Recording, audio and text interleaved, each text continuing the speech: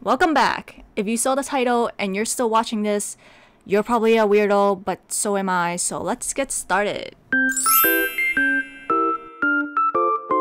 I'm going to start with a brief background about the anime. Skip over this so you don't care because most of you probably won't make it through another 10 seconds of this video. This anime adaptation named Bobo Bobo Bobo Bo had a manga before it was produced by Toei Animation. It ran for a whopping 76 episodes from November 8, 2003 all the way to October 29, 2005.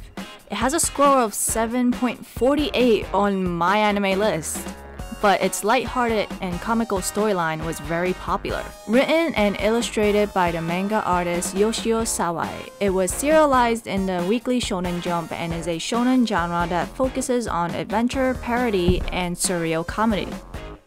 It starts like this. In the year 300X, the Maruhage Empire, ruled by the tyrannical ruler Zuru Zurulina IV, goes around villages and shaves people's heads and leaving their homes in ruins. But do not fret, the hero who stands up against this evil regime is the bizarre rebel Bo. Bo bo bo. Say that three times in a row. I dare you. He is not alone in this fight against Baldy Bald IV. This is the English name of the tyrant mentioned before. Alongside him is a normal teenage girl named Beauty, the smelly teen warrior Gasser, and Don Patch, who is a sidekick who kind of looks like the sun. Together, they embark on their journey to fight the forces of the Chrome Dome Empire, and along the way, they gain other allies. And I forgot to mention his superpower is that he can manipulate his nose hair as a weapon. And the name of his attack is called the True Fist of the Nose Hair. That's right, let that sink in. If you think the summary was dumb, you are correct but this is a parody, so that is to be expected. I don't watch these kinds of anime a lot, so let us all dive into this pit together because if I suffer, so do all of you. Also, this will be based off the dub because that's the one I remember most. I don't think I can even go into the subbed version because I'm too afraid of what I am going to see. When I first watched this, I thought, okay, this isn't so bad, at least the girl is normal. Apparently she was the straight woman of the series, so it didn't matter too much. I had high hopes for the boy too, but he was also kind of weird. When I first saw them, I also shipped them together, probably because they were the only two who were in the same age group who were seemingly normal, and the other people were just a little bit too much. Beauty is the female heroine of the group and is the only other female character besides Torpedo Girl. Yes, there is a character in the shape of a torpedo, let's not focus on that. She is one of the few sane characters in the series. Thank God for that. But she also serves as the damsel in distress in the series. Often she will be the one to point out Bobo's odd behavior or other people's fighting style and behavior. She's the only one in the group who doesn't fight, but she still criticizes other people.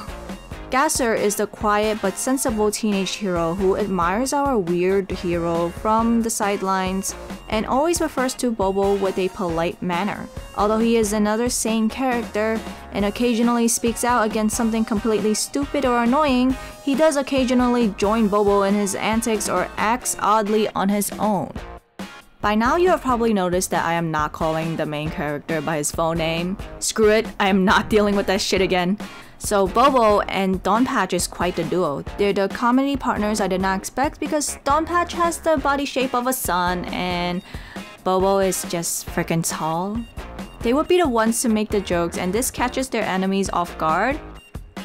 Despite Don Patch's claim over screen time, I'm going to be serious and say that he is more of a side character than the hero. But the ongoing joke is that he is more of a side character even though he keeps calling himself the most important one.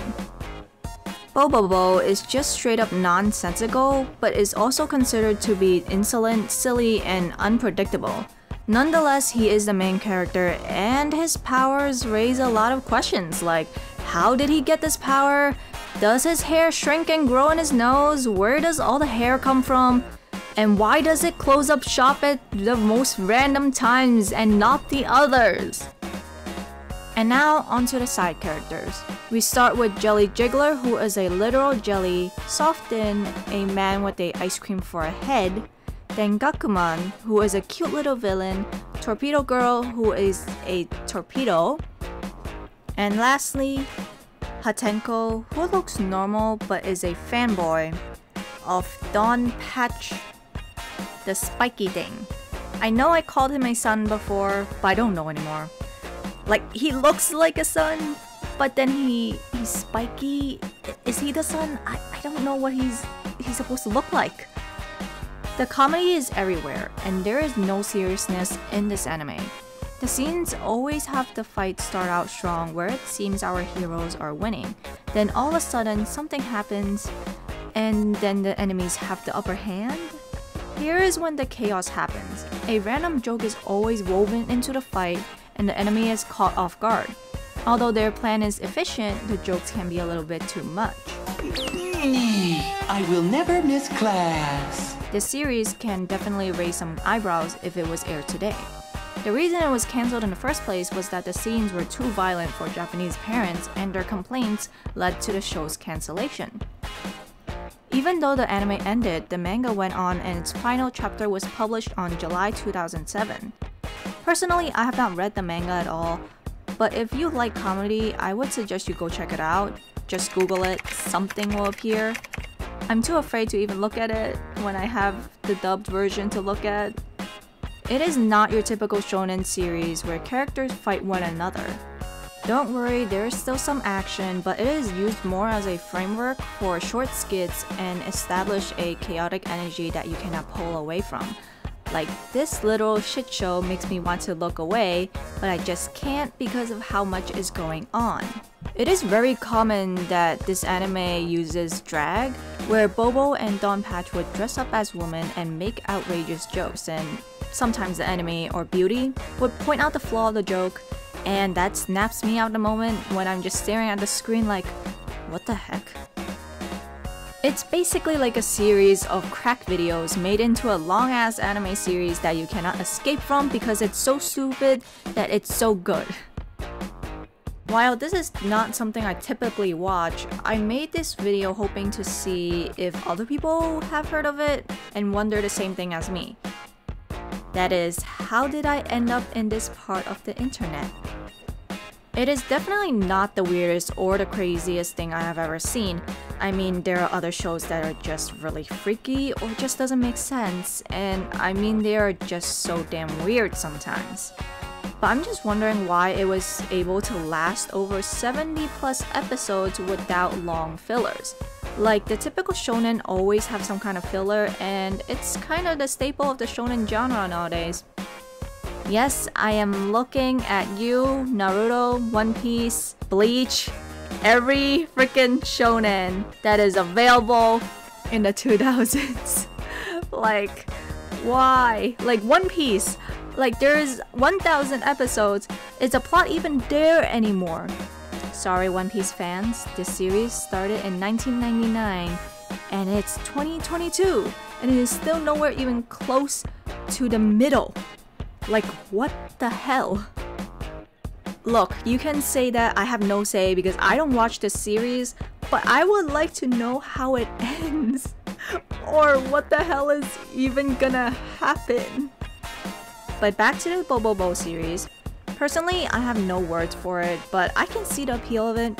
You can go into any episode and get a good laugh out of it as ridiculous as it seems. So my final verdict for the series is watch an episode, try it out. It may not have been good for me, but for someone else it can. That's the perk of watching anime anyways. So has anyone ever watched this or seen clips of it? It is an older series, but you can definitely find it somewhere. Tell me whether you're gonna watch it or not. So until my next one, I will see you all. Bye!